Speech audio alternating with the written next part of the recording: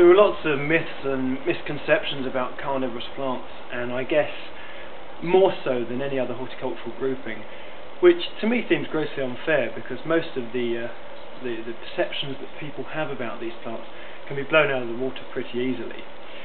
Now, the first main misconception we're going to cover is one that I hear all the time at the flower shows.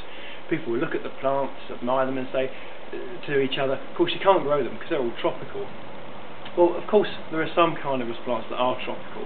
There are those found in, say, South uh, Southeast Asian rainforests, hot climates like that, where, of course, yeah, they're going to need a, a higher temperature.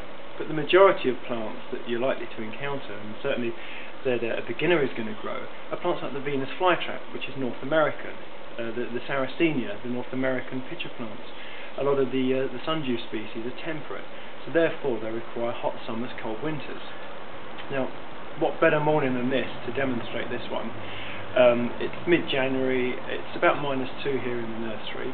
Um, I'm surrounded by the Sarracenias, these, these pitcher plants have, uh, have been prepped ready for the winter, they're now in their dormant phase.